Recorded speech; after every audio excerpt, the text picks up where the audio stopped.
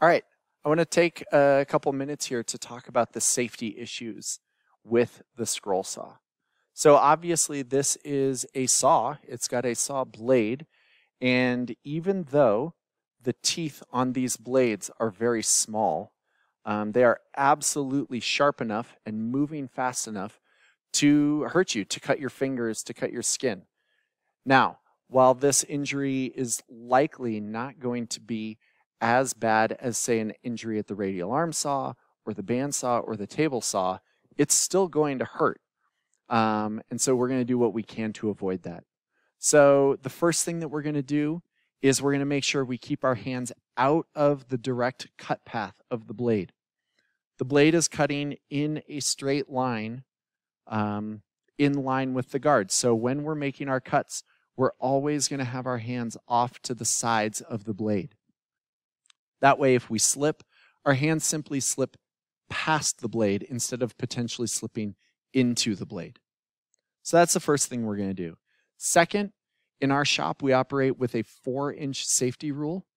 The scroll saw, because of the way it operates and because of the type of blade that it takes, at this machine, we're going to operate with a two inch safety rule.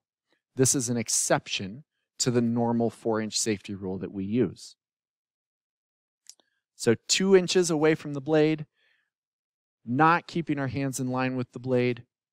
Um, we're always going to make sure we have our guard adjusted and in place. Having this guard properly adjusted down on our workpiece greatly reduces the possibility of our fingers slipping into that blade while we're making our cut. Properly adjusted blade, hands to the side, hands uh, two inches away from the blade. We're always going to have our safety glasses on, even though the blade primarily cuts on the downward stroke and there's not a lot of sawdust getting kicked up into the air. We still always wear our safety glasses all the time in our shop. Okay, you never come in here without your safety glasses on. Lastly, we're going to be mindful of our hair, our loose clothing. It is possible for those things to get caught up in this blade and for your hands or your hair or something to get pulled down in there. So we're going to be mindful of those things as well. Another common situation that is potentially dangerous at the scroll saw is making a cut on a really small or an irregularly shaped piece of material. And so we're going to use a clamp or a jig or a fixture to hold those workpieces to keep our hands safe as we're making these cuts. A common clamp to use is one called a parallel hand screw, and I will show you one of those now.